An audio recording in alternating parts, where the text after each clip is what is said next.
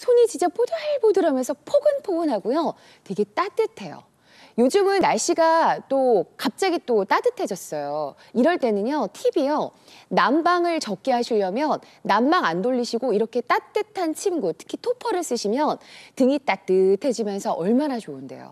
그래서 왜 실내에서 내복 입는 것처럼 그 효과를, 어, 온도를 상승 효과를 누리실 수 있고요. 제가 좀 자세히 보여드릴게요. 보시면 이렇게 양털 느낌이 되게 뽀송뽀송 잘 나죠? 근데 잔사가 거의 날리지도 않으면서 닿는 느낌 자체가 차가운 게 아니라 따뜻하기 때문에 특히 어린 아이들이 왜 이불 같은 거 빵빵 찰 때 있잖아요.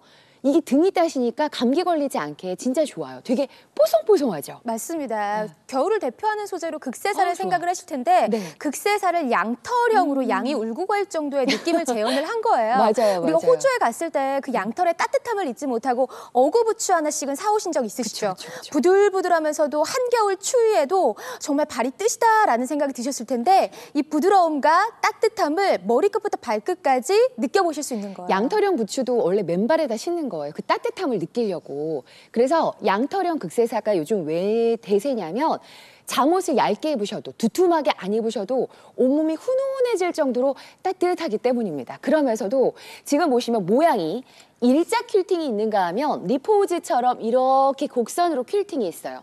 훨씬 더 예뻐 보이죠. 그리고 내 몸이 곡선이기 때문에 우리 몸이 곡선이기 때문에 훨씬 받아내는 힘이 받쳐주는 느낌이 좋다라는 거예요. 그러면서도 토퍼는 일단 두께가 두툼해야 돼요. 지금 보세요. 두툼하죠? 지금 거의 제가 보기에는 5cm 이상인 것 같아요. 굉장히 두툼합니다. 실제로 받아보시면 더 마음에 드실 거고요. 그 두께가 이렇게 두툼할 수밖에 없는 이유가 보통 토퍼를 만들 때 이불식으로 이렇게 봉제를 드르르 하는 경우도 있지만 각각 파이핑을 넣고 벽을 세워서 이렇게 두툼하게 해드리는 거예요. 그러면 훨씬 더 이게 복원력이 이렇게 올- 내렸다가 올라올 때도 복원력이 좋고 더 오래오래 쓰시는 거예요. 맨 바닥에서도 침대 위에서도 아이들 놀이방 매트 위에서도 활용도가 되게 좋아요. 카페처럼 그냥 거실에 깔아두셔도 되고요. 맞아요. 그러려면은 어, 이렇게 안쪽에 들어가는 솜까지도 보셔야 되는데 새솜을 사용을 했고요. 책이 만들어지는 것처럼 종이 한 장 한 장 한 장 쌓고 책처럼 음. 이걸 아예 솜을 쌓고 쌓고 쌓고 쌓고 쌓고 한 권의 책처럼 만들어 드렸기 때문에 페스츄리 솜. 보온과 탄성이 굉장히 좋습니다. 저가형은 이렇게 뭉치솜을 사용하는 경우도 있는데 사이사이로 바람이 들어올 수도 있고 아무래도 이렇게 켜켜이 쌓인 것보다는 보온력과 탄성이 좋지 않거든요. 네. 호텔 침구의 그 느낌 그대로 제대로 된 토퍼를 원하신다면 오늘 리포즈 하시면 절대 후회하실 일 없으실 거예요. 공기를 함유하고 있는 그 느낌 자체가 뭉치솜하고는 다른 거예요. feather솜하고. 그래서 여러분 좋은 소재의 극세사에 좋은 소재의 솜이 만났다라고 생각을 하시면 되겠고요. 밑에 미끄럼 방지 처리 얼마나 제대로 잘 되어 있는데요. 그리고 이렇게 banding이 있어서 이렇게 싸시면 되게 잘 될 겁니다, 여러분. 자, 지금 보여드리는 그레이 색상 주문이 벌써부터 이어지고 있는데요. 색상 안내를 좀 도와드릴게요. 지금 보여드렸던 그레이 색상 그냥 답답한 그레이가 아니라 연한 그레이 고급스럽고요.